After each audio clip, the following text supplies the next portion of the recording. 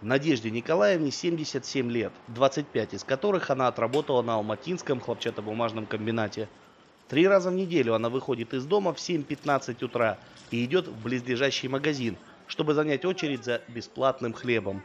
В месяц получается сэкономить около двух с половиной тысяч тенге, которые Надежда Николаевна отдает неработающей внучке. Собирается человек 50, 70, когда как, даже и больше.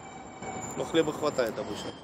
Ну, иногда не хватает. Бывает даже. Да, Если даже опоздаешь, бывает. уже Опоздал уже все. А ко скольки лучше приходить? Ну, я прихожу полвосьмого. Машина подошла тут бы вскоре, и хлеб выдают. Бесплатный хлеб для пенсионеров и нуждающихся раздают активисты женского клуба «Алма-Ата». Начиналось все год назад с 10 булок хлеба. Сейчас ежедневно в трех разных магазинах в городе выдают около 150 буханок. В очереди в основном пенсионеры. Многие приходят сюда каждый день. Мне 81 год уже. Пенсионер уже я. Почему? Почему для вас так этот хлеб? Почему вы приходите? Ну, как, э, все же пенсии маловато. Думаю, может быть, добавят маленько. Поэтому переходим, хоть не часто, но приходим, берем. 47 лет проработал, 40 тысяч я вышел в то время. Туда-сюда добавили, сейчас еще до 50 еле-еле доходит. Но этого не хватает. Конечно, не хватает, все же сейчас дорожает. Особенно вот лекарства, у меня бабка болеет, через пошел, за 25 тысяч купил лекарства, вот считай. Я кандидат наук, я кандидат химических наук, работала в ВУЗе, преподавала. Ну вот видите, обстоятельства заставляют приходить э, хлеба взять, потому что э, старшей дочери муж умер, э, э, поэтому остались эти дети, поэтому мы, я лишь немножко помогаю им.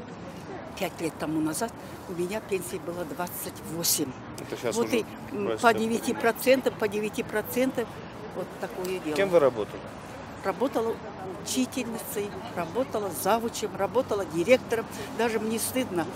Наверное, не надо. Вот я, А что вы мне стыдно. Вот сейчас ученики увидят, говорят, моя, моя учительница. За прошедший год участники акции раздали более 35 тысяч булок хлеба на сумму в 2,5 миллиона тенге, это более 7 тысяч долларов США.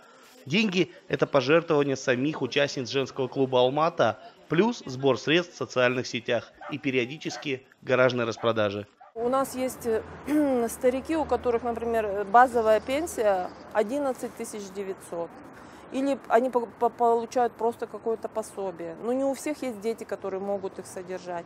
И вы знаете, вот действительно, вот эти 2400 тенге, которые они экономят, для них это, ну, на те же лекарства они могут потратить эти деньги. Поэтому, ну, что я могу сказать? Приходят, значит, им это нужно. Активисты говорят, что на данный момент у них нет возможности открыть еще несколько точек раздачи хлеба, но они надеются на то, что акцию подхватит кто-то из неравнодушных казахстанцев. Дмитрий Беляков, Павел Ангельгард. Настоящее время.